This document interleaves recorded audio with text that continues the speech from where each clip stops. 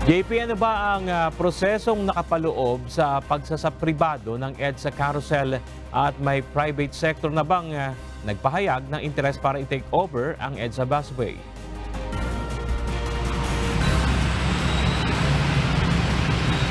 Bernard, ito ang Public-Private Partnership Center at Department of Transportation ay nagsimula na doon sa kanilang ah, preliminary market sounding exercise at nakapaloob dyan yung pagbubukas nga sa pribadong sektor para doon sa investment ng mga infrastruktura ng gobyerno o proyekto para sa transportasyon.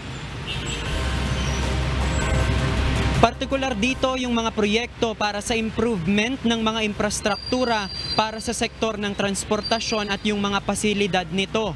Yung proseso na yan ay sinimulan noong November 16 at matatapos naman sa November 23.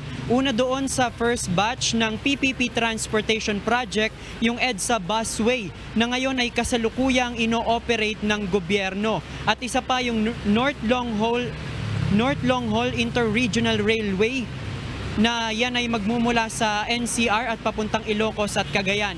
Sa ngayon wala pa tayong nakukuhang impormasyon kung meron ng pribadong sektor ang interesadong mag-overtake sa operasyon ng EDSA Carousel. Pero noong mga nakaraang buwan nga ay mayroon ngang mga private sector at iba't ibang grupo ang nanawagan para sa pagsasapribado ng EDSA Busway kung saan layo nito na mas maging maalwan sa publiko ang pagsakay lalo't isa ito sa pinakagamit na pampublikong transportasyon dito sa Metro Manila. At ihingi naman tayo ng opinyon sa iba pang grupo na nagsusulong ng kapakanan ng mga pasahero kung ano ang kanilang palagay sa pagsasapribado ng EDSA busway.